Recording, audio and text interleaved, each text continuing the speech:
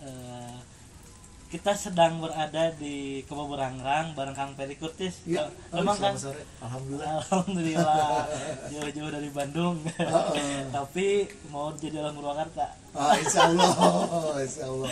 Nah kesibukan hari ini apa aja kan? Di tengah mungkin pandemi yang sekarang udah mulai naik lagi Hmm. dan pasti dong eh, jadwal manggungnya agak tersendat. Ya, pasti hampir semua ya. Paling yang terselamatkan mungkin hanya acara-acara yang menggunakan Zoom. Zoom dan itu nggak akan feelnya nggak dapat kan ya? Feelnya nggak akan dapat. Kalau panggung ya terpaksa memang karena kita harus taat dengan prokes, Betul. lalu taat dengan peraturan pemerintah dan membantu juga pemerintah dalam memerangi uh, COVID, Covid. ini. Hmm. Ya otomatis lah harus mengalah selama berapa tahun? Dua tahun Dua lebih. tahun lebih. Iya, begitu. Ah, Nah ngomong-ngomong Kang Peri ini mau pulang kampung teman-teman. Kata siapa? Mau pulang kampung ke ke mana nih? Ah, Kang Ferry mau pulang kampung katanya ke Purwakarta tapi daerah mana gitu terus mungkin ada sesuatu yang mau dibangun ke depan ah, kalau mimpi pasti banyak ya. Iya. betul sekali Ah, saya juga nggak nggak nyangka pada suatu hari saya harus balik ke sini gitu. nah, Mungkin pada tahun ini bulannya juga agak deket-deket. Ya mungkin tinggal di Wanayasa. tinggal di mana ya Sa? Tinggal di Wanayasa. dan menjadi energi eh, untuk Purwakarta sendiri harusnya harusnya Iya, Tapi- semoga bisa bersinergi betul dengan yang sekali lain. betul sekali karena eh, mau tidak mau Kang Ferry ini adalah sebuah aset dari Wanayasa Ah, yang amin. sedang melanglang buana dan harus diserap dan harus di apa harus ditanamkan Kang Peri Kang Peri Kang Peri Kang Peri selanjutnya di Iya, jiwa-jiwa aduh. anak muda Iya, saya sih sebetulnya masih banyak yang kurang ya, ya dia. Tapi eh, ya dengan pengalaman yang sedikit yang bisa dibagi, semoga kepulangan saya bisa bisa berguna lah. Minimal ada satu apa sih namanya, ada satu gerakan yang eh, membuat kita sama-sama melakukan sesuatu untuk orang banyak gitu. betul sekali karena ya kembali lagi kita harus memberikan kebermanfaatkan untuk Eh, amin, amin, betul, betul, betul. Pak kopinya pak. Siap. Siap. Terima kasih kopinya. Terima kasih. Siap. Nah, Kopinya udah datang. kebetulan kita sedang berada di Kebo Burangrang. Kebo Iya. Burangrang itu seperti ekowisata Mhm. yang eh, tempat ini menjual sebuah fasilitas ya. Hmm. Kan biasanya wisata itu menjual alamnya. Iya. Nah, kerennya di Kebo Burangrang ini menjual fasilitas. Hmm. Arti dari fasilitas itu mereka membuat sesuatu yang tidak merusak alam Betul, betul, betul. dan ini betul. menjadi, menjadi salah satu tempat yang eh, bisa menjadikan teman-teman membawa sa- sahabat, keluarga dan lain sebagainya event-event event di sini karena di sini ada lapangan juga campground dan sebagainya sangat luas ya. sangat luas promosi setik lanjut lagi ke Kang Ferry Ah, oke. karena dulu kita juga pernah podcast ya pernah Ah, ah, ngobrol ah, kan ah, ya ah. mengenai perjalanan hidup nanti ada di bawah ini linknya di atas eh, link beberapa pengalaman terus titik pertama Kang Peri berkarir di dunia musik dan dunia literasi tentunya ya Hmm. nah saya pengen ngebahas tentang khusus literasinya nih Kang. Oke, oke. Nah, pandangan Kang Peri mengenai hari ini kan kalau dulu anak pelajar itu tidak boleh dalam tanda kutip membawa handphone ke sekolah, Ah, iya. terus dibatasi menggunakan handphone. Nah, hari-hari ini kan malah digencarkan, ayo, Digencarkan, oh, oke. harus pakai handphone dan sebagainya. Otomatis eh, sisi dari literasinya itu eh, berkurang, baik secara apa berdiskusi, baik Hmm. secara eh, membaca di sebuah buku Ya. tapi bisa juga digital kan Oke. nah eh, menurut kang gimana Ya karena kita harus berdamai dengan situasi ya. Ah. Penggunaan handphone pada anak murid pada pada masa sekarang itu terpaksa dilakukan dari dari pilihan-pilihan yang terbaik ya. Pada akhirnya itu jatuh di situ karena memang pertemuan tidak boleh, tatap muka murid-murid tidak boleh. Salah satu alatnya supaya anak-anak bisa belajar yang menggunakan teknologi, Teknologi, handphone. Itu adalah sebuah keterpaksaan menurut saya yang memang tidak ada jalan lain pada saat ini. Hanya saja memang sekarang ini kan dibutuhkan kerjasama dari baik gurunya Hmm. baik muridnya baik orang di rumah. Saya sebagai orang tua kan kerepotan juga. Bagaimana bagaimana mendidik anak itu kan di rumah kan itu akan beda. Mereka belajar tatap muka akan beda. Tapi itu adalah sebuah keterpaksaan yang situasi itu uh, memaksa kita untuk melakukan itu Ah, Nah, dan ini menurut saya seharusnya nanti handphone itu hanya sebagai alat pelengkap oke dari gerakan literasi itu, Ah, ah. dari pemahaman itu. bisa jadi fasilitator gak kang kalau handphone Ya sebetulnya pada akhirnya teknologi seperti handphone dan banyak lain sebetulnya kan hampir sama kayak pisau. oke Pada akhirnya bisa membahayakan tapi bisa juga berguna. Teknologi itu juga gitu. Nah, perlu juga literasi digital nih menurut saya. Hmm. Jadi yang pemahaman literasi-literasi itu bukan hanya oleh muridnya saja yang dipahami, tapi orang tuanya juga harus memahami itu. Oke. Jadi literasi itu nggak hanya sebatas baca tulis saja kan ya. Enggak. Hari ini udah banyak literasi Hmm, ya, kayak betul. literasi musik, Hmm, literasi digital, Iya. literasi pertanian dan lain Iya. sebagainya banyak Hmm. sekali. Terutamanya hari ini adalah literasi digital. Ya, Nah, eh, kalau kita bicara tadi handphone sebagai pisau yang Iya. bisa bermanfaat ya sama- bermata dua ya. Iya, bisa juga menusuk lah, Hmm. melukai kita. Nah, handphone pun bisa seperti itu. Betul. Nah, kita ambil sisi negatifnya bahwasanya nanti handphone akan menggeser sebuah kebudayaan membaca kita jadi Kebudayaan menurun. baru, oke. Ya, jadi Ah. kebudayaan baru yaitu nyaman dengan gadgetnya. gitu. Nah. Nah, bagaimana sih kita mengkampanyekan untuk teman-teman ini setidaknya ingatlah bahwa membaca itu penting gitu. Hmm. Ini pekerjaan yang memang sebetulnya penuh tantangan dan sulit. Oke. Dan setiap orang penggiat literasi pasti punya cara yang berbeda tentang menghadapi itu. Ah. Misalkan kalau misalkan yang areanya terbuka, yang masih penduduk desa dan sebagainya, itu bisa misalkan melakukan kegiatan di luar Ah. ruangan. Nah, tetapi kalau untuk di kota Hmm. yang misalkan ganggamnya sempit, rumahnya sempit, sebetulnya agak susah untuk mencari alternatif lain. Agak susah mencari alternatif lain. Tapi itu lagi, lagi-lagi bagaimana pemahaman itu harus dipahami segencar-gencarnya tentang itu. Nah, hanya saja memang kita agak bukan agak terlambat, memang kita terlambat, ya. Terlambat. Karena memang pemahaman teknologi dipaksakan dengan cara kita yang masih manual. Hmm, Dan akhirnya orang terkaget-kaget dengan itu.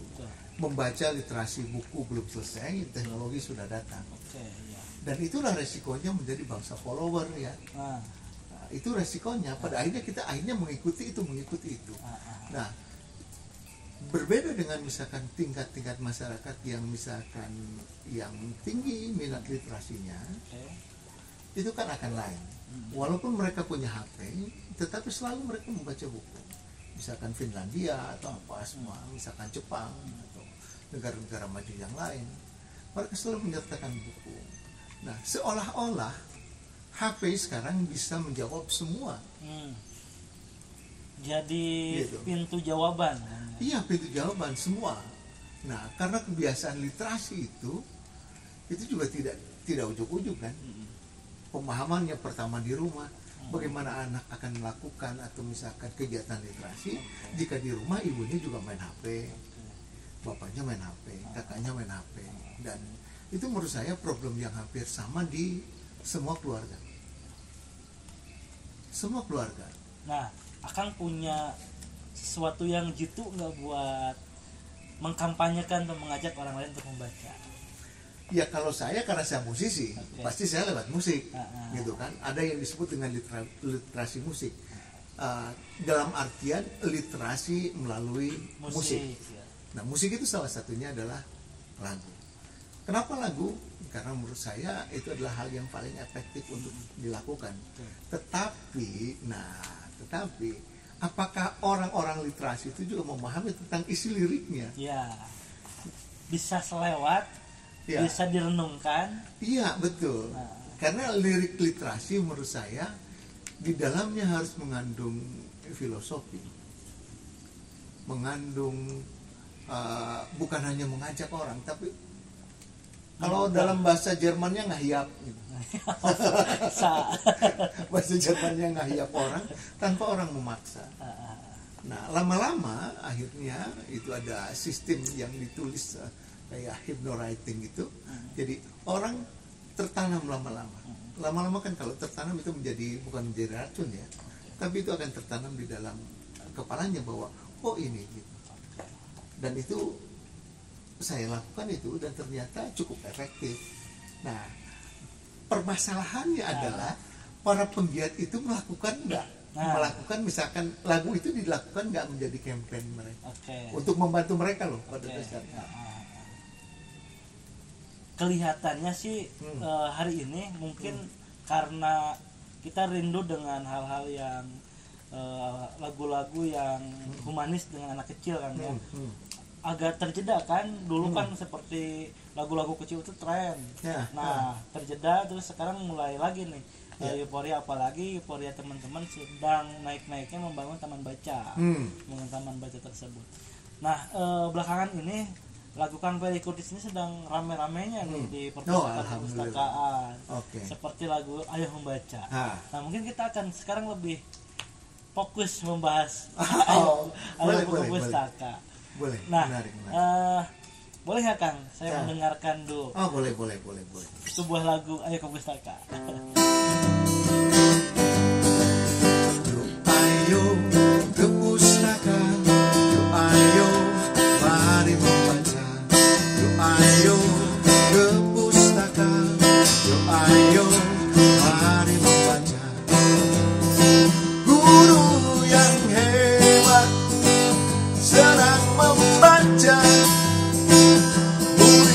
Murid yang pandai selalu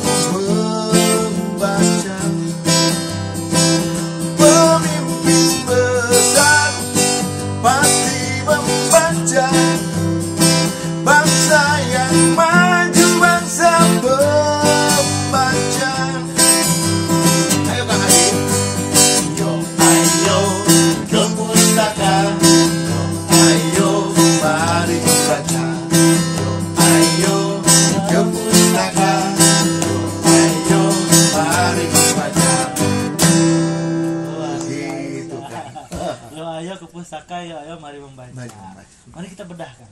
Oke, siap, siap, Seperti siap. Ada pisaunya? Seperti, bisa, bisa, bisa.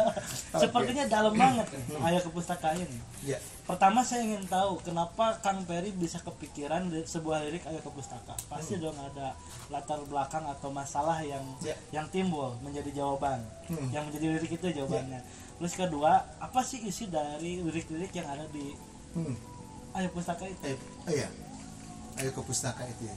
Eh, ada berapa hal. Dulu saya kan zaman-zaman eh, pergerakan mahasiswa. Ah, Eh, dulu saya membuat lagu protes terhadap negara. Oke. Lalu kedua, pada akhirnya saya membuat lagu yang lebih ringan ya tentang kebangsaan. Yang ketiga, saya membuat lagu tentang lingkungan hidup. Oke. Nah, yang keempat saya mencoba masuk pada dunia pendidikan, lagu dunia pendidikan, dan yang ketiga ternyata literasi kuncinya. Hmm. Nah, untuk memahami empat hal ini Ada di literasi. ada di literasinya. Jadi kalau kita bicara apa pun tentang ini tadi, ya tentang protes sosial, tentang kebangsaan, tentang pendidikan, tentang lingkungan, jika literasi masyarakatnya tidak dibina, Betul. tidak terinformasikan dan mereka tidak mengerti, maka ini tidak sampai. Betul. Nah, tahun 2001 saya menulis lagu judulnya eh, ke pustaka. Ke pustaka. Jadi bukan ayo ke pustaka, Nah, ke tapi pustaka ke pustaka aja. Oke. 2001. Nah, mungkin lirik itu dianggap agak berat. Oke. Tapi lirik itu tahun 2000 berapa ya? Sekitar tahun 2006 itu dipakai di gerakan eh, apa namanya? Gerakan Makassar Gemar Membaca. Makassar nomor Iya, dan itu menjadi barometer untuk gerakan literasi di di Makassar. Makassar dan daerah lainnya akhirnya kayak Surabaya misalkan Tapi Bali belum Jawa juga. Barat itu ya. Eh, belum nah liriknya agak lebih berat dari itu nah liriknya sangat ini ya sangat memang filosofi Eh, kalau nggak salah jika kau eh saya lupa itu lagu yang itu gitu? Eh,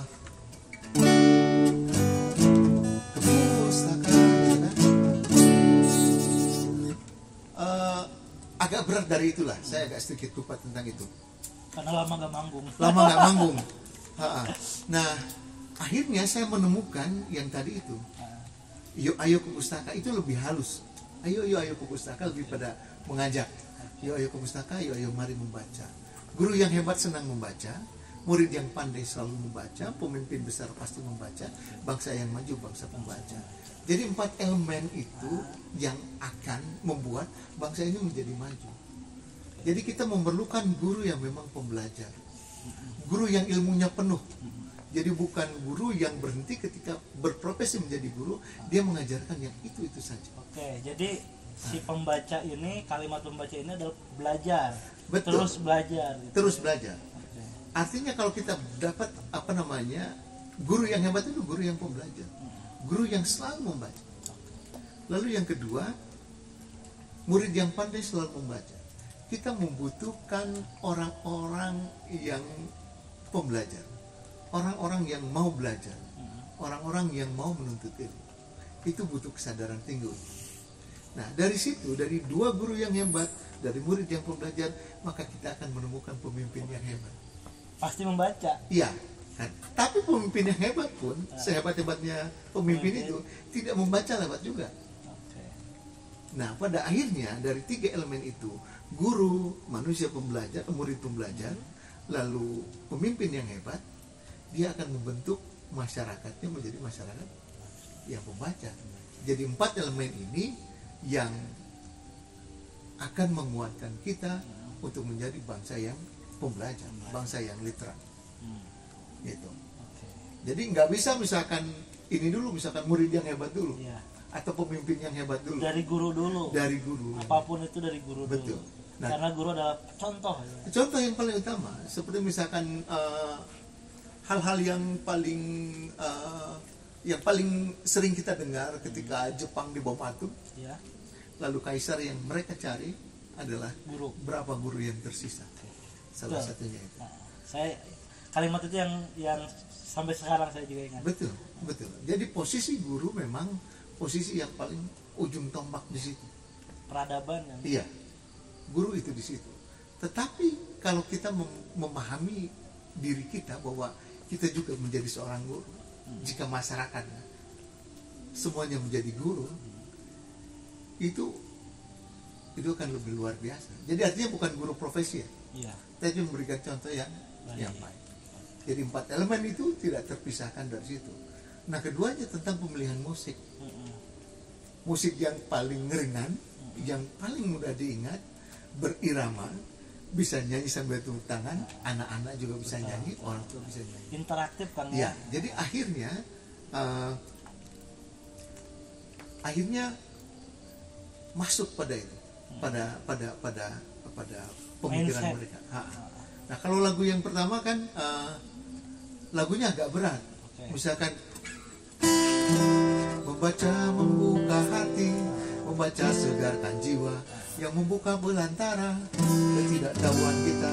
Buku bagai setetes air yang jatuh di padang pasir. Menolong dahaga kita tembusi cakrawala. Iya gudang ilmu adalah buku yang membuka jendela dunia. Kunci harus membaca. Yuk ayo ke pustaka nah itu agak berat. Ternyata eh, pendengar kita pendengar kita lagu-lagu campaign itu ternyata hanya di kita hanya kuat mendengarkan yang waktunya yang relatif Yang relatif. tidak panjang Oke. Ya, Dan itu bisa menjadi kebiasaan. betul Ketika sudah Betul. dengar, dipraktekkan dan menjadi Betul. kebiasaan.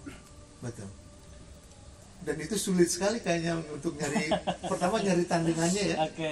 dari tandingan itu maksud saya saya sendiri agak ini mentok juga ya kalau bikin lagu lagi yang lain gitu ya. karena empat pemadatan kalimat itu Ah, yang guru eh, murid pemimpin bangsa itu ternyata susah juga diuraikan kembali misalkan dibikin yang kayak gimana betul betul betul. Hmm. Karena kalau seniman kan kalau bikin karya emang kalau udah boom nih karyanya Hmm. jadi tantangan juga Betul. harus lebih boom dari sebelumnya. Iya, tapi jangan salah Kang Andi. Saya menemukan kalimat itu, saya menghabiskan mungkin 20 lembar kertas untuk mendapatkan kalimat itu. Jadi tidak langsung Langsung selewat ya. selewat. Jadi, Jadi, iya, melal- melalui pemikiran-pemikiran dulu. iya, coret lagi. Ini kalimatnya ini tepat. Sampai pada suatu waktu, Ah, pada satu itu eh, apa namanya saya anggap bahwa itu liriknya.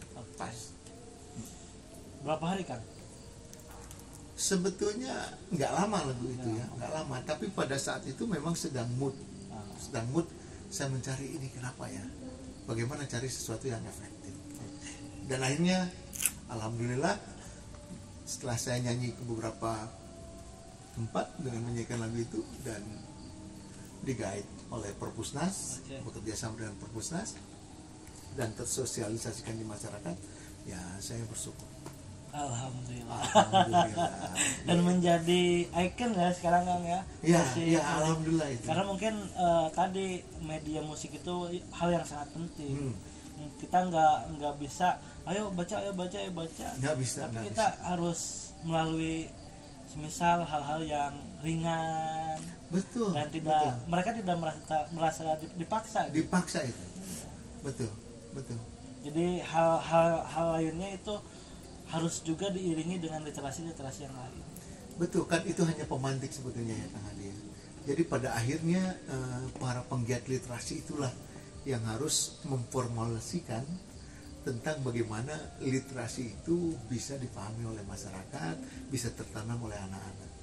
Dan penggiat literasi saya berharap juga bisa menerangkan Nah, isi dari lagu tersebut. Oke jadi bukan hanya uh, terus menggemarkan ayo Ya. ayo ke pustaka bukan hanya ayo ke pustaka tapi memiliki makna-makna yang terselubung di dalam iya betul. lagu tersebut. betul betul. Membedah itu. Membedah itu nantilah kan kita keliling-keliling Ah, teman baca ya. Harus Eh, harus. Saya buat- pengen sekali. buat teman-teman nih yang oh, yang pengen taman bacanya Ah. didatangi Kang Peri Kurtis DM aja Kang Peri Kurtis langsung. Atau ke Hadi ini manajer wilayah Purwakarta. Oke kan karena oke. sudah menjelang maghrib. Ah siap siap kita satu kali lagi ayo ke pustaka Ah, oke. biar ingat juga